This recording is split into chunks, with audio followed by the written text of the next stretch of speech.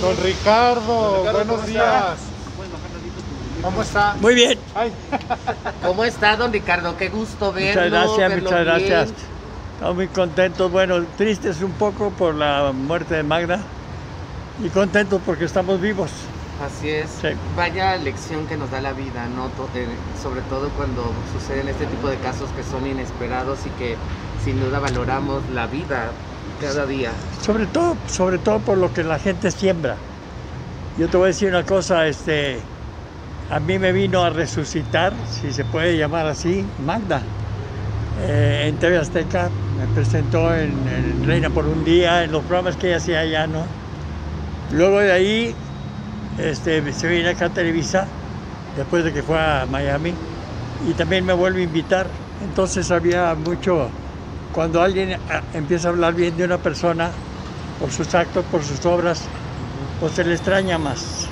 Y entonces este, yo sí la veía un poquito pasada de peso, más el estrés, más el exceso de trabajo, pues hacía Guerrero 2020, hacía Laura Bozo, hacía hoy. Y, y Dios dijo, la necesito y se la llevo. quedará, quedará eternamente agradecido con Magda. Yo sí, claro. Ah, pero claro. Fíjate, yo, yo estaba de cepillín cuando surge Canal 5 el Vamos a jugar jugando. ¿Quién se iba a imaginar que esta muchacha conductora iba a ser después productora y me iba a dar trabajo a mí?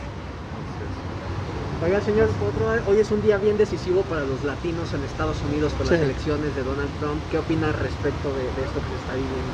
No, pues que gane Donald Trump. ¿Quiere que gane Donald Trump? Pues luego, Esa es su postura. pues luego. Que gane Donald Trump, más vale malo por conocido, porque bueno, pues no sé cómo venga el otro. ¿Y qué opina, señor, que de pronto también hay latinos eh, eh, que finalmente han dado su opinión también a favor de Biden?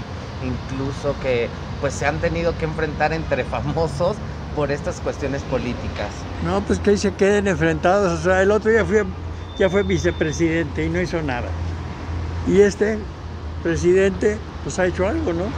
Entonces, cuando hablé yo con una latina que trabajaba allá en Estados Unidos, dije, ¿por qué vas a votar? Me dijo, por Donald Trump. ¿Por qué? Porque es el único que se acuerda de nosotros.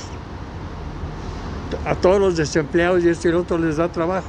En el caso de Biden yo ni lo conozco, y- o sea, lo conocí de vicepresidente, pero yo prefiero que gane Donald Trump. Pero no creo que la parte de Donald Trump a lo mejor es un poco de esta parte hiriente hacia los mexicanos que les ha dicho animales. E- Eso es puro cuento, hombre. Y todos los edificios que ha hecho los ha hecho con puros latinos, con puros mexicanos. Puro cuento, eso es política. Y ahorita con el presidente que tenemos hay buena relación. Entonces, ¿para qué quieres probar un, un desconocido? Me quedo con Trump. ¿Cree Ah, que haya ah. más políticas en cuestión de, de la migración que venga próximamente? De la migración va a existir toda la vida. ¿Sabes cuántas veces han regularizado a los indocumentados? Un chorro de veces. El país de Estados Unidos de Norteamérica es un país de, de inmigrantes. Entonces llega un momento que toda esa gente que está ilegal, pues eh, está evadiendo impuestos.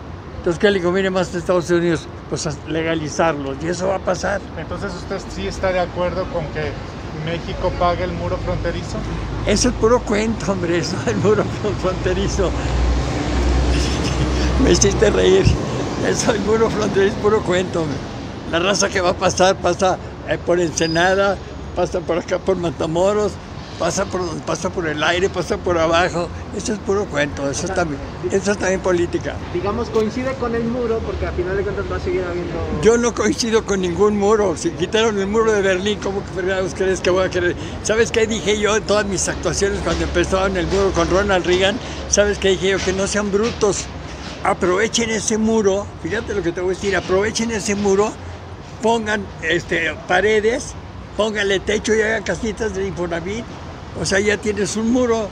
Pues, pues, vete poniendo paredes. O pueden hacer los, los bonitos túneles como varios personajes conocidos. No entendí, pero a lo mejor. Bueno, túneles como, como el del Chapo Guzmán, a eso me refiero. No, no, pues yo no necesita que haya muros. Los ha hecho hasta por abajo de la calle, los ha hecho por abajo de las casas. O sea, ¿qué mensaje le mandaría a los latinos que viven en Estados Unidos con todo esto de las elecciones? Que no se preocupen, los latinos que son indocumentados, que no se preocupen. Es un país de, inmigrantes Y al final de cuentas tienen que regularizarlos a todos. ¿Por qué? Porque están perdiendo de ganar impuestos. Los gringos no son tontos, están perdiendo. si hay 15 millones de indocumentados, les conviene legalizarlos. Que no se preocupe, yo los he conocido a la raza trabajando en los campos agrícolas de California. No se preocupe, más vale malo por conocido que bueno por conocer. Ojalá gane Donald Trump. ¿Y Señor, ustedes en Estados Unidos nunca lo llegaron a tratar mal, a discriminar en algún momento por ser mexicanos? Ahí te va, esta no la sabe nadie. Qué buena notota, qué bueno. Échele, Ahí, te- ahí le- les va, ahí les va. Yo tengo casi 75 años, para que sepan ustedes lo que estamos viviendo en el 2020. Cuando yo era niño, mi papá llegó a una gasolinera, me bajo yo porque ya no aguantaba hacer pipí.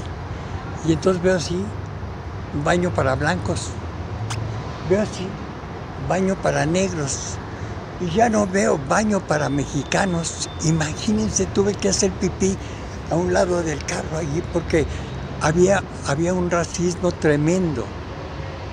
No había baño para mexicanos. Eso fue cuando yo tenía 5 años, hace 69 años. ¿Qué nos va a sorprender ahora si siempre ha existido el racismo? Siempre ha existido el bullying, siempre ha existido todo. Entonces, qué bueno que ha ido evolucionando, que ya se acabó la esclavitud, qué bueno que, que va cambiando todo. Pero racismo va a haber siempre. Ustedes aguanten, aguanten vara. Estamos hechos pura madera. Mi papá se enojó en aquel entonces porque no me dejaron hacer pipí. Y así pasaba en restaurantes. Y así pasaba en restaurantes y pasaba en todo eso. Así que ahorita lo que estamos viviendo, estamos viviendo época abuela, o sea, no se preocupen, vamos a echarle ganas, ¿no? Como México, no hay dos. Pero Sí, no le tocó pasar en algún